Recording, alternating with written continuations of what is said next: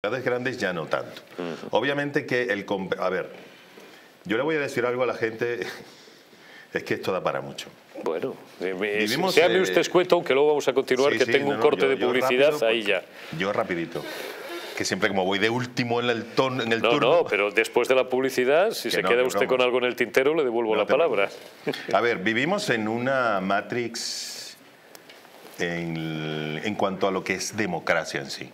¿No? Democracia no puede ser que nos engañen, porque hoy en día es muy fácil engañar, hoy en día es muy fácil persuadir, hoy en día es muy fácil hacerle pensar a la gente que toma la decisión, pero la estamos tomando nosotros por ellos. Con neurocomunicación, con un montón de, de, estudios y de cosas ya hechas, donde yo hago que Eurico Campano decida lo que yo quiero que decida, pero él va a pensar que lo decidió él. Eso ya está, eso lo aplican las empresas y tal. ¿Qué es lo que pasa? Que cuando nosotros tenemos una democracia que se basa en cada cuatro años meter un sobrecito, porque de resto democracia, separación de poderes, como que no hay mucha. O sea, todo lo que representa la democracia hoy en día es meter un sobrecito cada cuatro años. Ay, que te engañé. Ah, bueno, dentro de cuatro años puedes volver a votar. No te quejes, que hay otros países que eso no se puede hacer. Eso no es democracia. Eso no es democracia. Eso es tomar una decisión manipulable o manipulado, engañado, bajo incluso amenazado. Si gana el otro, pierdes esto. Eso es amenaza. Entonces, ¿en qué se basa un partido político, salvo honrosas excepciones actualmente? Sencillamente preparar una campaña continua. Ya no hay campañas. La campaña es continua, es todos los días de todos los La evaluación continua y permanente. 24 horas al día, porque por redes sociales se hace absolutamente todo, 24 horas al día.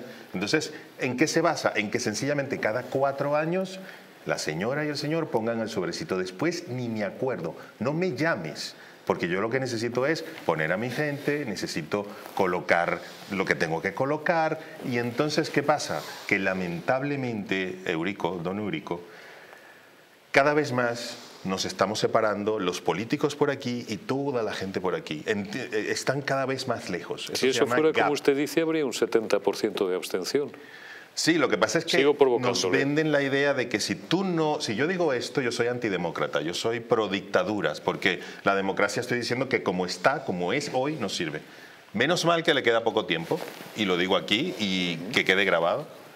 Le queda poco tiempo tal y cual la conocemos, va a cambiar mucho. Los no está. Las elecciones que vienen dentro de cuatro años. en cinco años. Sí, por eso las próximas que vienen en cuatro años, no sé yo si ya van a poder hacerse. Fíjate tú tiene mucho que hablar y, que quede esto grabado. Entonces, ¿qué pasa? Creo que viene un corte, pero mm. ¿qué es lo que pasa? Que Vamos a seguir con esto. ¿eh? Sí, sí, que lamentablemente, pero muy lamentablemente, nos utilizan. Ahí lo dejo.